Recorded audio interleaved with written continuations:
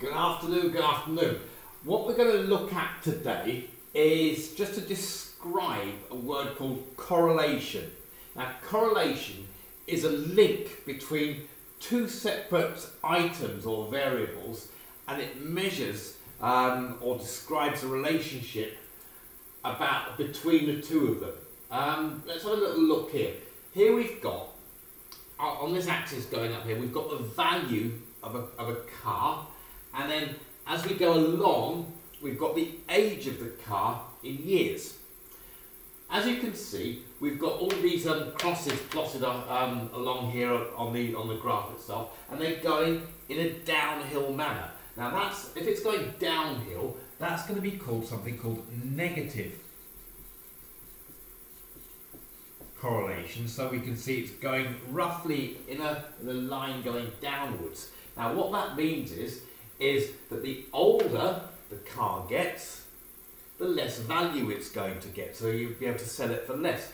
So the, the older the car gets, the less value it gets. And where we've got this downward trend, that's what we call negative correlation. Okay, let's have a look at this graph here. Here we've got a graph um, saying ice creams that are sold going upwards and across is the temperature in degrees C.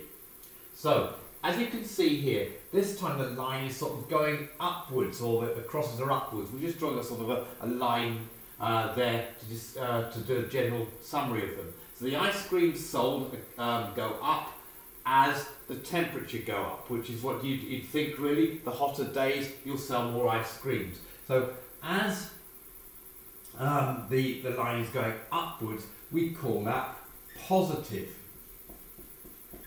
correlation. So we've got negative correlation, where one thing is going up, where the other thing is going down, and positive, where both things are going up at the same time. Over here, we've got um, all the crosses are everywhere, and I really can't sort of get a line to describe a general trend on that. So that is called no correlation. So if there's no pattern, we describe it as having no correlation. So what they're saying here is they're trying to measure the height of a person, or comparing the height of a person to their IQ. That's how brainy they are. And what it's saying is that how tall you are has got absolutely nothing at all to be to do with how brainy you are. Okay, so um, no correlation, no link between height and intelligence. The final one here um, we'll just see, we, it's um, a link between two tests here. Um, then we can see straight away that the line we draw is a sort of a trend line like that, and that would be negative, isn't it?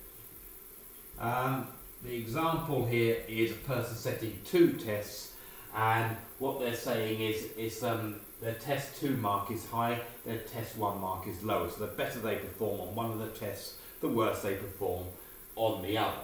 So those are uh, links to three types of correlation. Negative, that's going down when uh, one's going up, the other's going down. Positive, when both are moving in the same direction.